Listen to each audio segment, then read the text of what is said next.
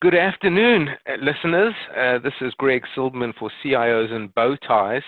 Uh, our guest comes to us from the uh, West Coast, um, and this is this is going to be a, a, real interesting one. I, just doing the research on this was uh, fascinating for me. So, uh, without further ado, let me introduce our guest. on the line, we have Dr. Aubrey de Grey. Dr. de Grey is an English author and biomedical gerontologist. He is the Chief Science Officer of the SENS Research Foundation. SENS stands for Strategies for Engineered Negligible Senescence, and that's something we'll, we'll speak about real soon. Uh, and VP of New Technology Discovery at AgeX Therapeutics. He is editor-in-chief of the academic, excuse me, academic journal Rejuvenation, research author of the Mitochondrial-Free Radical Theory of Aging, and co-author of Ending Aging, a good book and uh, one that I was able to, to get through. He is known for his view that medical technology may enable human beings alive today not to die from age-related causes. So that's the, that's the fascinating thing here. De Grey is an international adjunct professor of the Moscow Institute of Physics and Technology, a fellow of the Gerontological Society of America, the American Aging Association, and the Institute for Ethics and Emerging Technology. So if you guys were wondering about longevity, I think our guest today is exactly the right person on the line. He has been interviewed in recent years in a number of news sources, including CBS, 60 Minutes, the BBC, New York Times, Fortune, the Washington Post, TED, Popular Science, the Colbert Report Time, the Skeptic's Guide to the Universe, and the Joe Rogan Experience. Phew. I, am tired already, Dr. de Grey. So uh, welcome, welcome to CIOs and Bow Ties. Well, thank you for having me on the show. Now, let me just get this out the way because I heard there's actually a rumor going around that, that you yourself are already 156 years old. Can you, can you confirm or deny that for us, please? I think I may have said something like that on stage at TED in 2005, um, uh, but no, I'm actually only 56. okay, so 100 years to go, right? Yeah. All right, let's uh, let's get a little bit more serious serious then. Um, I noticed from from your resume uh, you spent some time at, at an organization called the Methuselah Foundation, uh, and Methuselah, as you are well aware, uh, is is um, the fable goes, the belief, whatever you want to call it, believe it or not, um, was a gentleman who lived to 969 years old. Um, and so my first question for you here is, um, is a shorter lifespan, this, this theory that, you know, we should only live to under 100 years, is that actually a newer phenomenon or have we always never lived very long? I'm completely certain that we have never lived very long. That, in fact, um, whatever the um, origin of the biblical ages that we see, um, you know, the, it, the, that story is not actually biologically correct. At the moment, we are living a little bit longer than people have lived before. Obviously, average lifespans are a lot longer than mm-hmm. before because we are so so much so many fewer people are dying early in life from infections. But maximum lifespan has also gone up a little bit, um, just as a result of better nutrition, better prosperity, all that kind of thing. However, um, what we can certainly say is that in the absence of the medicines that people like myself are in the process of developing, uh, there is a natural limit to how long people can live. That limit will only be transcended by medicines that don't yet exist. Okay. All right, so that, that brings us to our, our first question, which I know listeners will be uh, confused by. So define for us what this term senescence means is senescence essentially the, the root of aging? And I know you use a great um, com comparison between physics and biology. So I wonder if you could just mix that all in for our listeners. Yeah, sure. So, yeah, I mean, terminology in this whole field is an enormous minefield. Uh, people, you know, there's just so much baggage, so many connotations around. So we have to be very, very careful. Now, the word senescence is often used by people who study the biology of aging just in order to uh, distinguish the undesirable aspect of aging, the mm-hmm. aspects mm-hmm. of aging that are associated with failing health, as opposed to the good things like, you know, becoming more knowledgeable and so on. Um, but really, you know, for uh, practical, you know, non-specialist purposes, there's no real difference between senescence and aging. Senescence is simply what most people understand by the word aging in the first place. Okay. Mm-hmm. Um, now, the issue of physics, uh, yeah, this is an interesting thing. So, a lot of people, even if we say, okay, there's no difference between senescence and aging, uh, still, um, they get confused about what aging really is. Mm-hmm. If you mm-hmm. ask 10 people what aging is, you'll get 10 different answers. It's not good. I mean, it, and it's pretty surprising, really, if you think about it, because let's face it, you know, aging has been the predominant preoccupation of humanity since the beginning of civilization. You would have kind of expected that we would have figured out what it is uh, and, and, come to an agreed definition. Um, but yeah, basically, aging is, you, you, one often oversimplifies it. A lot of people say aging is the decline in health, both mental and physical health, of course, um, that happens late in life. And then other people will say, well, it's the process that goes on throughout life that gives rise to the um, eventual uh, decline in health.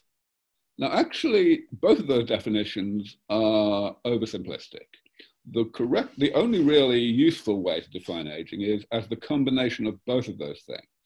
And the reason that's important is because it helps us to delineate what kind of ways we might use to go about doing something about it and keeping people from not getting sick when they get old. Um, so if we look at, for example, simple machines like cars, we can see that it's possible to keep a car going just as well as when it was built for as long as we like. Now, that's why there are vintage cars, 100 year old cars. Um, it, they were not designed to last that long. They were designed to last maybe 10 a year, 10 years or 15 at the outside. Um, what we could do is wait until the rust accumulates and the doors fall off, and then put the doors back on, and you know, 10 minutes later the doors are going to fall off again. Mm-hmm. You know, it's not very effective. Another thing we could do is somehow like keep the car in the garage and not have it actually do what a car is for. Uh, you know, which case it won't get dusty in the first place, but it won't really be a car in the meaningful sense of the word. So neither of those alternatives makes any sense. But we have this other alternative, which is kind of the sweet spot between the two. Namely, we do the car, we, we, we take the car out on the road, and it gets, you know, rust happens. But we preemptively periodically remove the rust, you know, before it gets to the point where the doors fall off. And of course, not just the rust, also everything else that goes wrong, like, you know, the uh, stuff accumulating in the oil and so on. So that's what it is, really comprehensive preventative maintenance. And the business about physics versus biology arises from that. The body, the human body, is a machine. It's a ridiculously, insanely, you know, incomprehensibly complicated machine, mm-hmm. still a machine. And that means that the, you know, the, the, the, the, the, the process of deciding how to keep it going, how to stop it from declining in function, is ultimately the same process as deciding how to do it for a simple machine like a car. So this is really the innovation that I'm mainly known for. I was the first person to introduce 20 years ago now the idea that we shouldn't be doing just geriatric medicine, um, which is essentially the equivalent of waiting for the doors to fall off. Mm-hmm. But we also should not be doing the equivalent of keeping the car in the garage. In other words, trying to slow down the rate at which damage occurs in the first place, like uh, the equivalent of rust, uh, which is basically the paradigm that the field of the biology of aging, the gerontology field, had been pursuing for the previous mm-hmm. century. Okay. I said, hang on, actually, we've got this sweet spot in the middle where we can let damage happen, and we're going to, I mean, it's just like it's going to happen. There's no way we can stop it from happening. Um, but then we repair the damage periodically, but before someone actually gets sick. And I was able to argue that we could actually do this comprehensively, or at least sufficiently comprehensively to achieve the objective of postponing the health problems of late life. Okay. Okay, thank you. So you've you've opened the door to a lot of my follow-on questions, which is great. Uh, but we're going to stay with some some definitions for now. Uh, my understanding is a lot of the research that's undergoing on now is, um, you know, only going to come to its fruition in, in a number of years' time. How many, many years? Well, we can debate that. Um, but, but again, a lot of these, um, how do you call it, like maintaining the restore uh, type technologies is still a little ways from us now. It's not available right now. But you've coined a term which I really like, and maybe you can explain it to us a bit more. And the term is longevity escape velocity. Um, maybe you can tell us, our, our, listeners, what you mean by that. Sure, absolutely. So, uh, yes, you're quite right. The body accumulates a wide variety of different types of damage, and that means that we need to develop a wide variety of different therapies to repair and eliminate that damage. Um, the good news is that it's not a completely unmanageable number because we can classify the, um, the type of damage into a manageable number of categories. It's just seven categories I normally talk about. Mm-hmm. And for each category, there is one generic type of repair, which may vary a little bit in the details from one example within the category to another, but only in the details. Mm-hmm. So it's a, it's, a, it's a tractable thing. Okay. But yes, the um, you know some examples of damage within each category are more difficult to repair than others, just more inaccessible in some way. So we have no realistic chance of being able to repair 100% of the damage that the body does to itself throughout life anytime soon. There are just going to be, you know, really difficult types of damage. However, we don't need to get to that point in order to give ourselves indefinite health. And the reason we don't is because of this thing that you've just mentioned, longevity escape velocity. If we were to get to a point that we could postpone the health problems of late life by, let's say, 20 or 30 years, but only by that amount because the therapies were not 100% comprehensive, then that's obviously really good in, in itself. You know, that's a lot of healthy life that people are going to enjoy. But more than that, we have essentially bought ourselves time. And I don't just mean we've bought the general, the, the, the, the, the general public time. I mean, we've bought researchers time. Mm-hmm. If people, if people get, let's say they're 60 years old and they come in for these therapies and they get rejuvenated, they get their, their, their damage is largely repaired, but not completely 100%, then they may come back when they're, let's say, 90, and they'll be biologically 60 again. They'll have accumulated to the point where the difficult damage that the therapies don't work on is, you know, has reached the same level that the total amount of damage had already reached at the age of 60, right? Mm-hmm. And of course, at that point, the therapies are just not going to help because, by definition, the therapies do not work right. on, the, on the stuff they don't work on. However, that's 30 years of research that's been going on in the meantime, which will have figured out how to repair some proportion of the difficult damage. So the people who are age 90 will not actually get the same therapies. They will get, you know, SENS 2.0. Um, and they will thereby, ha- they, they will indeed be able to be re-rejuvenated mm-hmm. so that they um, won't be biologically 60 for the third time until they're, let's say, 150, and so on. So basically, the idea is can we stay one step ahead of the problem? And the term longevity escape velocity that I coined is simply the minimum rates at which the research community needs to improve the comprehensiveness of the therapies in order to do that, in order to stay one step ahead of the problem and keep people people's amount of damage below the threshold level that makes them sick. Okay. Got it. So I, I would equate it to uh, uh, very inaccurately to say the kind of the Moore's law as it applies to um, longevity and rejuvenation. Not well, not exactly. yes, not not exactly. And in mm. fact, it's worth my taking a moment to explain okay. why the explain what the difference is, because this is something that often confuses people. So, of course, there is this term, the singularity, which is often used to describe the idea of computers becoming uh, more and more powerful and more and more intelligent at an exponentially increasing rate, and eventually reaching a point where um, you know we just don't, we just can't see beyond it. Now, it's all about accelerating change there.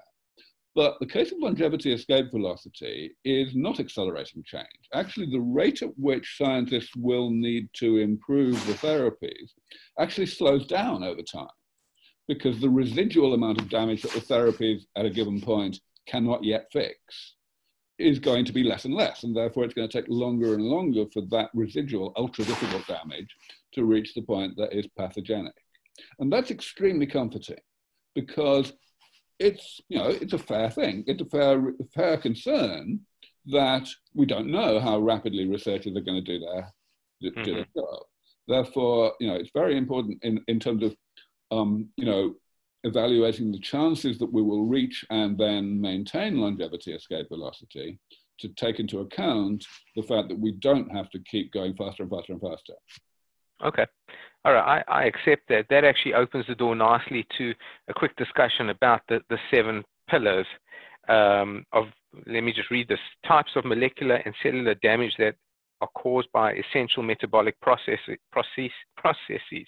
Um, maybe you can just sketch out for us really at a high level what these seven pillars are. And, and my assumption at this point is there's, you know, seven areas of um, damage that occurs through aging, which you seek to regenerate and, and fix. So maybe you can just run us through those at a high level, please, Doctor. Sure, yes, absolutely. And let me repeat briefly something that I mentioned a moment ago, that I'm in no way saying that there are only seven types of damage.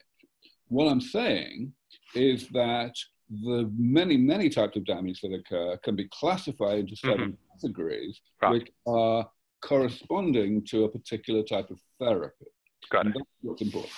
Okay. okay. So, um, what, are the, what, are, what are these seven categories? Well, first one is very simple to describe cell loss, loss of cells, cells dying and not being automatically replaced by the division of other cells. And of course, the way to repair that damage, to restore things to how they were, is to put new cells in. And that's what stem cell therapy is. Then the second one is having too many cells rather than too few, and in particular, having too many cells of a bad sort. So um, there's a very obvious way in which that can happen, namely when cells are dividing more than they are supposed to. Mm-hmm. That, of course, is more or less the definition of cancer. Mm-hmm. Um, and of course, there are various approaches to dealing with cancer. We have been pursuing very aggressively an approach that involves attacking the telomeres, the ends of the chromosomes, and making sure that the cancer cell is not able to continue to extend the telomeres.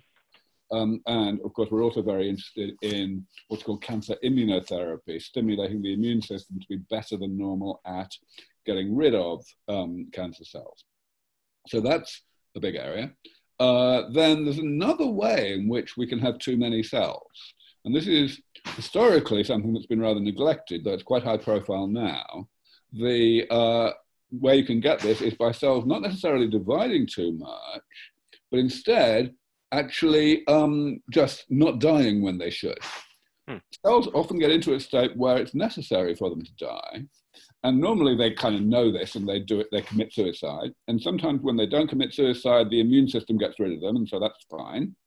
But there are some kinds of cases where neither of those things happen. The cells just accumulate, and they're bad for you. They, especially they secrete molecules that damage their, their neighbors. Um, so uh, a big a big subset of this are what's called senescent cells. Mm-hmm. And this is a word that's probably not very, um, it's a term that's probably not very descriptive, so, but, we, it is what it is. Um, at any rate, the um, yeah, senescent cells are now um, the target of some drugs that really work, that actually selectively kill them. And these are in clinical trials already. Um, so that's really why it's a much more high profile area than it has historically been. Okay, so that's three. Um, and all of the things I've mentioned so far involve the number of cells. The first thing is too mm-hmm. few, the other 2 mm-hmm. are too many. Everything else is not at the cellular level, it's at the molecular level. And that again divides into two subsets. There are two types of damage that happen inside cells, and two other types that happen in the spaces between cells, outside of the cell. So, inside cells, first one is mutations in a very important part of the cell called the mitochondria. The mitochondria are machines inside the cell that perform the chemistry of breathing. So, in other words, they chemically combine oxygen with nutrients in order to extract energy from the nutrients that is then used for okay. um, all manner of purposes.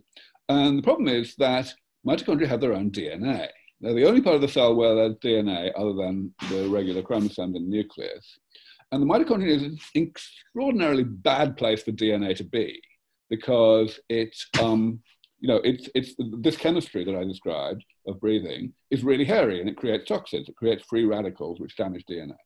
So the DNA in the mitochondria accumulates mutations far, far faster than anything in the nucleus. And that's really bad. These, the genes, there's only 13 proteins that are encoded by that DNA, but still, those are essential proteins.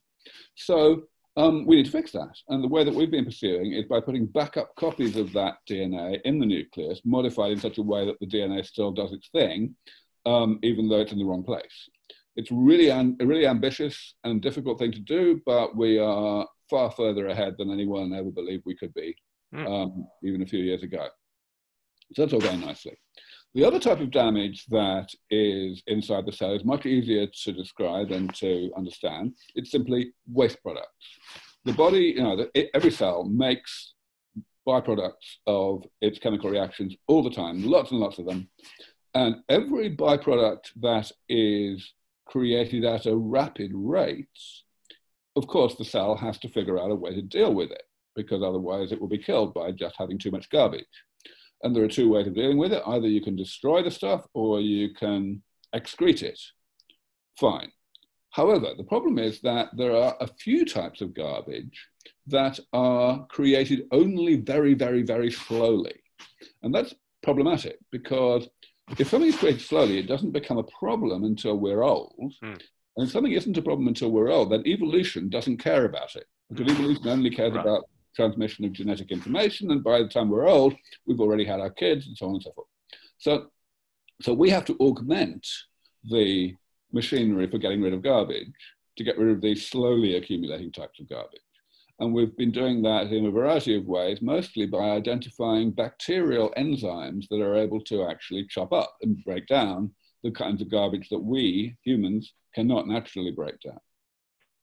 All right, so there's only two left. Uh, yep. Only two things left, and as I mentioned, they are outside the cell. So the first one is, again, garbage. Garbage accumulates outside the cell as well. But the good news here is that the garbage outside the cell is intrinsically much easier to break down than the garbage inside the cell. Garbage outside the cell only accumulates at all because the machinery that we naturally have to break down garbage outside the cell just is really primitive and not very good. And therefore, it's sufficient to just cause cells to engulf this stuff. If you can get a cell to internalize this garbage, mm-hmm. then it gets to be exposed to the machinery for mm-hmm. breaking stuff down right. that naturally exists inside the cell, and that works. So the, the, the garbage is toast very quickly. Um, and that's been very successful. Essentially, the way one does this is by stimulating the immune system, by vaccinating against the garbage. And we've got pretty good at that now. Um, and the final one is, again, as I said, outside the cell. This time it is a physical problem. A number of our tissues, they need to be elastic in order to do their job. They need to be able to stretch. And that elasticity arises from the molecular structure of the tissue, in particular, this lattice of proteins called the extracellular matrix. That lattice becomes stiffer and stiffer over time because it undergoes chemical reactions with stuff in the, in the bloodstream, especially with sugar. And so again, the molecular nature of this damage is, um, is well understood, but we've got to do something about it. Essentially, what we have to do is identify drugs or enzymes that can restore the structure to how it was by essentially breaking the new chemical bonds that are accumulating undesirably. Mm-hmm. And again, we've had great success there. Um, first of all, in terms of actually identifying drugs, but also especially in terms of, again, identifying um, enzymes from bacteria and other species that have the right activity. But the great thing is that most of these things that I've just described to you are already far enough along that we at SENS Research Foundation don't even work on them anymore because we've been able to spin them out as startup companies. That is really our business model these days. We, we are very keen to, to, to get the private sector involved as quickly as possible. largely because it just means the project gets more money. You know, there's lots of people out there who are visionary and who, you know, have deep pockets, but at the end of the day, they really don't like giving money away. And so getting them to provide money philanthropically to the nonprofit is tricky. And therefore, okay. as soon as something gets to the point where an investor can like join the dots and see that they can actually move things forward far enough along to make a profit eventually, then you know that's what we do. Absolutely. Okay. Yeah. So we're we'll definitely get to the investment side. That is what is of the, probably the greatest, well, uh, equally great interest to our listeners who are predominantly uh, wealthy individuals, family offices, and the like. But but we'll get there uh, methodically if that's okay. Uh, just the last point on the on uh, number seven, pillar number seven. I'm just curious, a total novice question, but um, you know the the characterization of aging is, is, a person who is becomes generally less mobile um, overall. And is, is that in any way tied to this this uh, rigidity of uh, gosh I can't even remember the the, the, the terms that you use. Yeah, stiffening. Um, yeah, not actually all that strongly. No. So okay.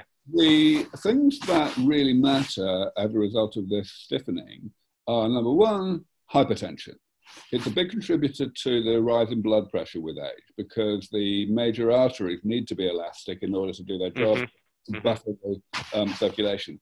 Um, the other thing is cosmetic, uh, wrinkling. You know, uh, you know, the, the, the, aging of the skin yeah. is very strongly caused by the loss of elasticity of the lower layer of the skin called the dermis. Ah, okay. Um, and actually, presbyopia as well, um, the inability to see things close up. That's again the same process. It's going on in the lens of the eye.